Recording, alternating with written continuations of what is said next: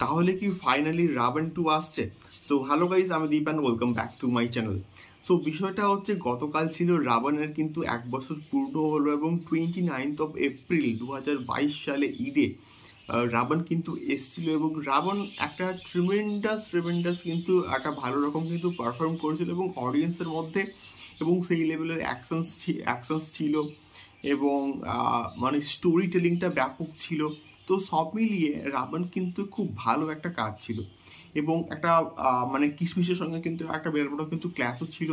তো সেক্ষেত্রে রাবণ সিনেমাটা যেখানে শেষ হয়েছিল, সেখানে কিন্তু একটা একটা হিন্টস দেওয়া হয়েছিল যে রাবণ টু আসার। একটা কিন্তু একটা ক্লু ছেড়ে দেওয়া হয়েছিল। সো গতকাল রাবণের যেহেতু এক বছর পূর্ণ হয়েছিল, সেই হেতু কিন্তু রাবণের ডাইরেক্টর মানে এম এন রাজদা কিন্তু একটা পোস্ট শেয়ার করেন এবং সেখানে একদম সবার লাস্টে একটা কথা কিন্তু মেনশন করা হয়, তাহলে কি সে ফিরছে? সো এখান থেকে আমাদের এক্সাইটমেন্টের শুরু। আমরা প্রত্যেকে চাই যে রাবণ টু আসুক এবং আমরা কেন শুধুমাত্র আমি কেন প্রত্যেক বাঙালি কিন্তু চায় যে রাবণ টু আসুক এবং রাবণ টু যে লেভেলে সাকসেসফুল হয়েছে সো সেই লেভেলে সাকসেসফুলটা রাবণ টুতে কিন্তু একটা চরম কিন্তু ইয়ে নেবে। এবং সেই জায়গা থেকে আমি বলব এবং কয়েকটা ইন্টারভিউতে আমি দেখলাম যে রাবান যদি সাকসেসফুল হয়, তারা কিন্তু রাবণ টু এর প্ল্যানিং করবে।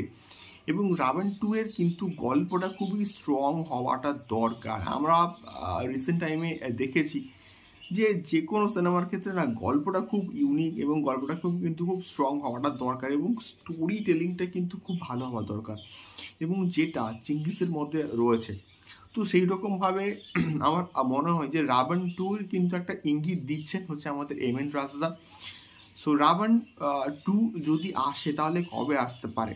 সো এটা আমার মনে হয় যে এম এন রাজদা কিন্তু এখন বর্তমানে জান্নাতের কাজে কিন্তু ব্যস্ত রয়েছেন এবং জান্নাতের কাজ কমপ্লিট হওয়ার পরে সম্ভবত তিনি রাবণ টু এর কাজ ধরতে পারেন এবং এগুলো সত্যি বলছে আমার জাস্ট মানে প্রেডিকশন নাথিং এল আমি জাস্ট একটা গেস করছি। এবারে দেখা যাক আলটিমেটলি রাবান টু আসে কিনা বাট একটা আশা তো রয়েছেই যে রাবান টু আসতে পারে। তোমাদের কি মনে হয় যে রাবান টু কি আসবে না, আদৌ আসবে না? আমাকে কিন্তু অবশ্যই অবশ্যই কেমন করে জানিও। দেখা হচ্ছে পরবর্তী ভিডিওতে টাটা।